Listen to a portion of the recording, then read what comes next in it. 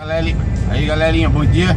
10h30 da manhã, estamos aqui na rodovia Carvalho Pinto Sentido São Paulo. Hoje dia 31 de janeiro de 2015 Contar uma piadinha aí que é velha aí Mas o pessoal mandou dramatizar a piada aí, né?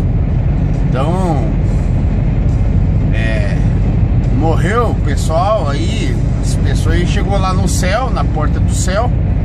Tava lá um bombeiro, um médico E um caminhoneiro caminhoneiro. Aí eu chegou o bombeiro e São Pedro perguntou, meu filho, o que você fazia lá na terra? Bom, São Pedro, eu era bombeiro, salvava vidas e tal. Ah, meu filho, pode entrar, vai, vai. E o outro? Você, meu filho, próximo, pode vir. O que, que você fazia lá na, na, na terra? Nossa, Pedro, você pode dar uma olhada no meu currículo aí, eu fui médico, trabalhava no hospital das clínicas e tal. Ah, meu filho, vai, vai, entra logo, estamos precisando de você aqui, vai. Foi lá pra dentro. Chegou você. E o senhor aí que tá sentado aí?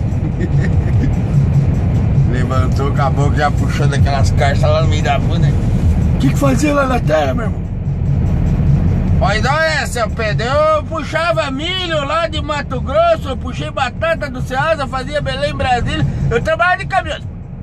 Trabalhar de caminhoneiro, puxar esse país nas costas, a gente tá desvalorizando, rapaz. E puxava tudo que é coisa, dava e rodava que nem um louco aí, ó. Meu filho, põe a calça e o sapato e aguarda lá embaixo do pátio lá. Tem banheiro lá, filho? Não tem, roubaram o chuveiro. Aguarda lá que assim que for liberado a gente chama. Ela o caminhoneiro. Até do céu, rapaz. Não perdoa não, viu? Falou, galera. É o pessoal que pediu pra dramatizar a piada, mas tá, tá bom. Um abraço.